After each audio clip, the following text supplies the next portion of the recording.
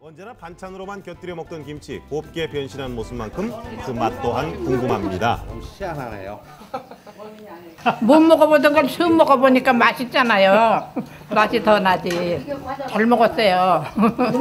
땀 흘리며 정성껏 음식을 내놓은 석범 씨를 위해서 손수 음식을 먹여주시는 어머님 때 아닌 김치버스 등장에 마을은 축제 분위기가 됐습니다.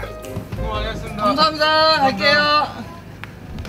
불쑥 찾아와서 신기한 음식들을 대접하고 또다시 길을 나서는 조리사들. 김치로 셀 수 없을 만큼 다양한 음식을 만들어낸다는 김치버스를 따라갑니다. 네, 잘 가고 있습니다. 자, 이제 그날 밤이죠. 집이 아닌 버스에서 불편한 생활을 하고 있는 세 남자. 이유가 궁금했습니다. 예. 나한테 좀 주고.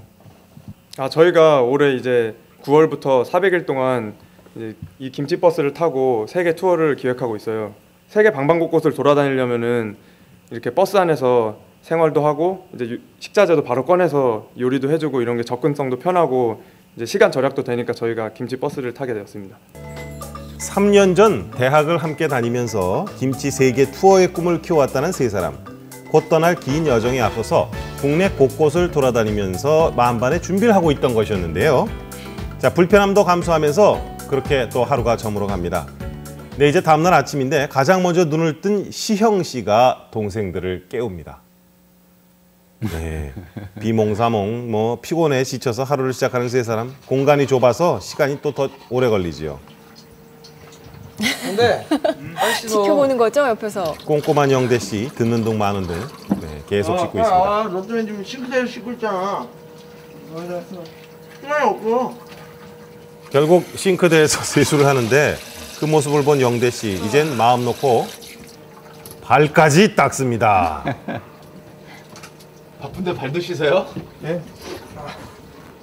아, 빨. 아, 쟤는 진짜. 어제 닦고 잤어야죠. 어? 물 없단 말이야 지금. 장어국 주문했어요? 아니요. 아이 꿈에서도 이따가 학교 가서 그 음식 해야 되는데 그거 뭐 해야 될지 고민하느라 잠도 제대로 못했어요. 장도 봐야 장도 봐야 되는데 마음이 급해요 지금. 잠시 후 재래시장을 찾은 영대 씨. 신선하고 저렴한 재료를 구하기에는 시장만한 곳이 없죠. 1kg 저 통으로 주세요 이것도. 그래도 여긴 그래도 그렇게 비싸진 않네.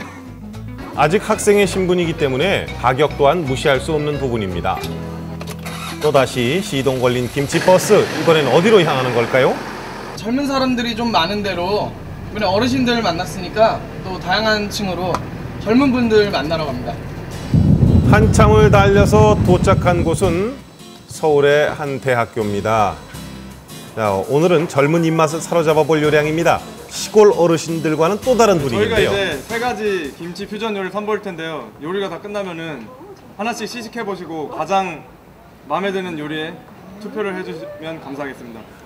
네, 오늘 선보일 김치 퓨전 음식은 소시지와 김치를 매콤하게 졸인 choucroute, 또 치즈와 김치의 환상조합, 피자를 연상시키는 김치 퀴슈와 잘게 다진 불고기와 김치를 얇은 또띠아에 싸먹는 김치 퀘사디아까지. 자, 먹음직스럽게 완성된 음식들 이번엔 젊은 사람들의 입맛에 잘 어울리는 재료를 선별했다는데요. 음식을 맛보기 위해서 기다리는 학생들의 모습. 야, 학생들로서. 이렇게 버스에서 먹고 잔다고 하면서요. 이게 쉬운 일이 아니잖아요. 근데 한식의 세계화를 위해서 이렇게 한다는 게 놀랍고 지금 오늘 메뉴를 보니까 다들 멕시코, 프랑스 그리고 독일에서 음식을 한 건데 그거하고 이렇게 김치하고 했는데 생각보다 너무 잘 어울리더라고요. 그래가지고 되게 기대가 큽니다. 많은 이들의 응원 속에서 드디어 시식 시간은 다가오고 차례대로 완성된 음식들을 받아갑니다. 과연 그 맛은 어떨까요? 궁금합니다. 잘들 드시는데요? 맛이 어때요? 음, 맛이 색다르고 김치로 이런 맛이 나온다는 게참 어, 신기한 것 같습니다. 그리고 이거 이런 재료를 해서 이렇게 만든 게 해외에서도 어, 외국인들에게도 큰 나름 인기가 있을 것 같습니다. 이제 앞으로도 출발 전까지 저희가 이런 행사를 몇 번 하면서 이렇게 외국인들이 좋아할 만한 그런 한국 음식을 많이 개발하고 저희도 많이 공부를 해야 될 것 같아요. 오늘 되게 좋은 경험 됐고요.